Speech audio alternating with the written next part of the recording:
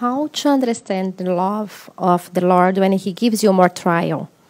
For example, in my personal life, I have more trial than anything else. Trial to have a baby, we cannot have. And we are here going to the temple, doing every single thing we are supposed to do, and nobody can help you, only Him. How to understand that? Okay, I repeat. Everybody can have what she wants or something better. Now, you want children, rightfully so. The tragedy, the modern tragedy of abortions, for example, being what they are in a world filled with sisters and brothers like you who want children. That is something I'm sure God is going to have a long conversation with some people about. But setting that aside,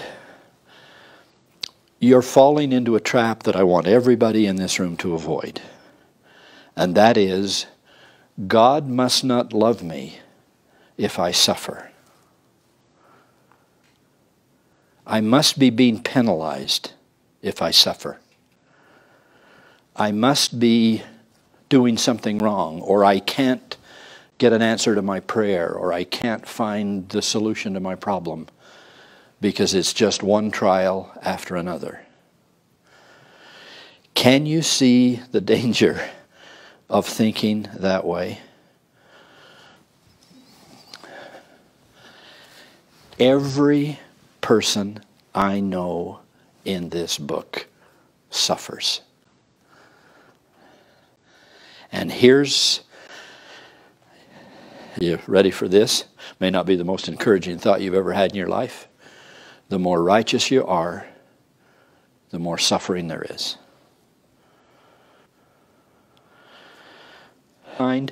What we cannot say is when we suffer, God does not love us.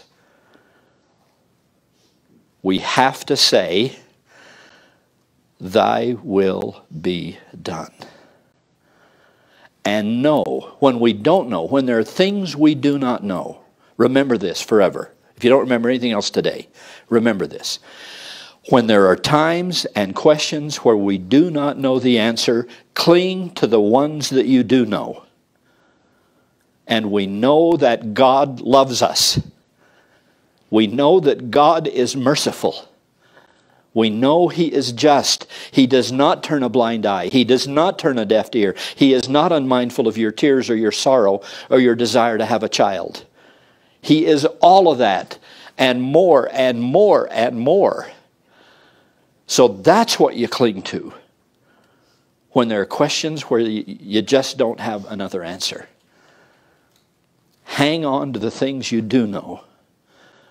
And above all, and through all, and overarching all, is God's love for his children. If who suffered more than anyone in time or eternity that we know of, whatever the plan was. Who suffers more than is speakable, than is expressible, than is comprehensible, than is absorbable, than is graspable? The living Son of the living God, the only perfect child who ever lived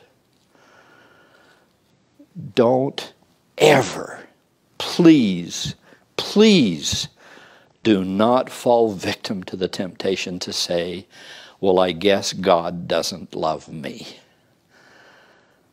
Because what on earth would that say about his love for his only begotten Son? We're going to say that? We're going to say that he's turned his back on the only perfect, obedient child he's ever had? Not likely. Not very darned likely. So, these are times for faith. These are times for perseverance.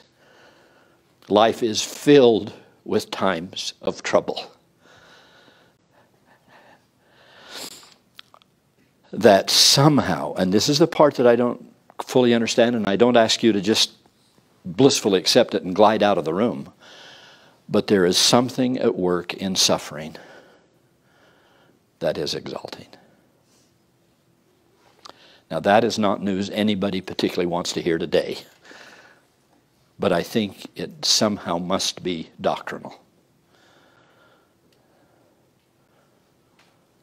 That suffering is exalting.